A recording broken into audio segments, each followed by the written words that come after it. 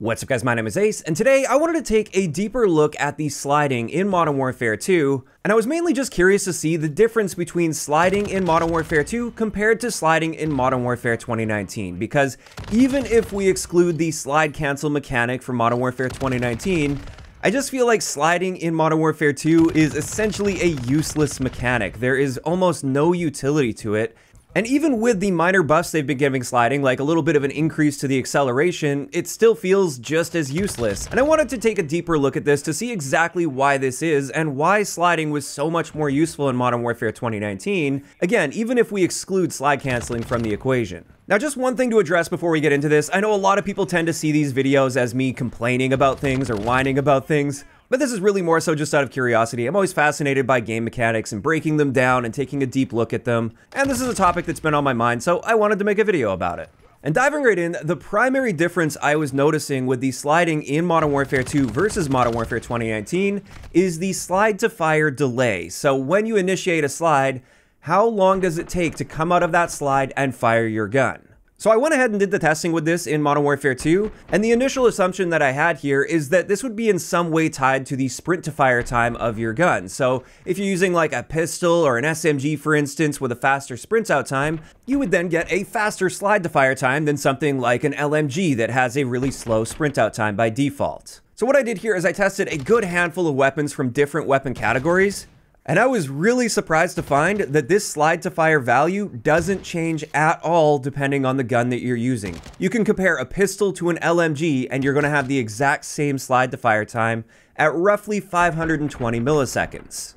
To top that off, this initial testing was done with a regular slide out of a standard sprint, and I also wanted to test this with a tactical sprint. If you tactical sprint into a slide, I thought that you would have a slower slide to fire time, but again, my assumption here was wrong, and our slide to fire time is exactly the same, again, at right around 520 milliseconds. Then to test this a little bit further, I took all of those same guns and I created a sprint out build that's designed to give you the fastest possible sprint out time with that gun. And this had zero impact on your slide to fire time. No matter what, it's going to take you 520 milliseconds coming out of a slide in order to fire your gun. And as far as I've been able to test, there is no way of changing that time at all.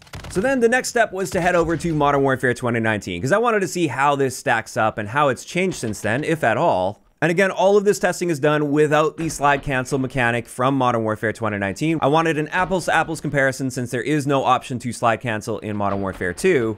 And again, I took a good handful of guns spread across multiple weapon categories. And what I found here is the slide to fire time in Modern Warfare 2019 is 350 milliseconds, and again, I was pretty surprised to see that increasing your sprint out speed, for instance, generally won't have an impact on your slide to fire time. Now, there are a couple exceptions here. What I noticed is if the sprint out time of your gun that you're using was slower than that 350 milliseconds, then that sprint out time would supersede the slide to fire time. So like with an assault rifle, for instance, our tactical sprint out time is 400 milliseconds by default. If you were to tactical sprint and then slide and then come out of that slide, it would take you 400 milliseconds now instead of 350.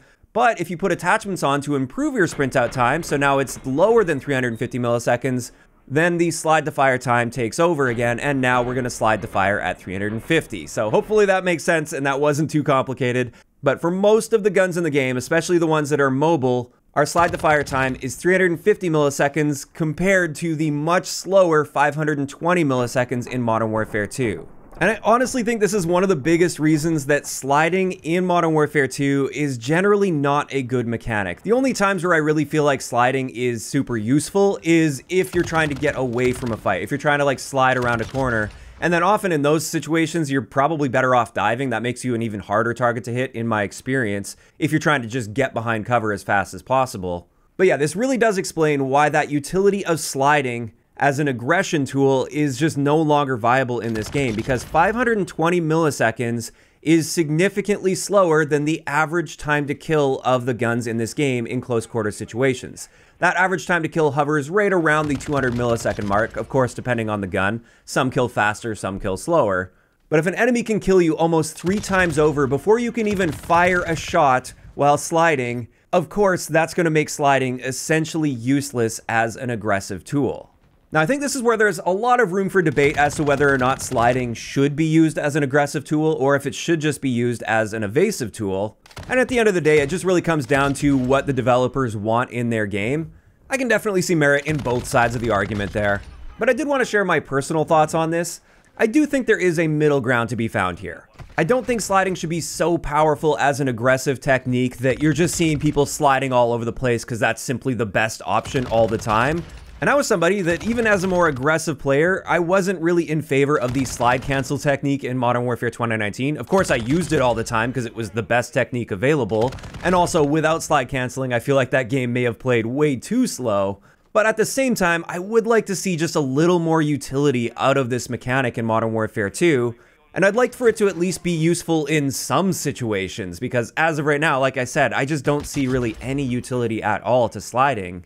And I also do find it quite strange that there's no variation between the types of weapons and how long it takes to fire your gun out of a slide. I definitely think when coming out of a slide, a pistol should be able to shoot faster than an LMG. Now, as to what I feel that slide to fire value should be, Honestly, I do think somewhere around that 350 to 400 millisecond mark that we saw in Modern Warfare 2019, I feel like that's appropriate, assuming that they also keep slide cancel out of it, because in that case, you're still going to be experiencing a much slower slide to fire time than the sprint to fire time of your gun. And also, it's still going to be much slower than the average time to kill of the guns in the game. So there definitely is still a trade-off to sliding instead of just like sprinting into a gunfight, for instance.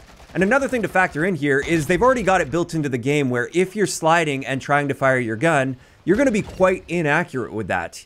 Your hipfire spread will increase massively, and therefore even if you are able to fire your gun, it's not like you're fighting back super effectively, you're just at least getting the chance of getting some bullets on target and maybe giving you the ability to win that gunfight.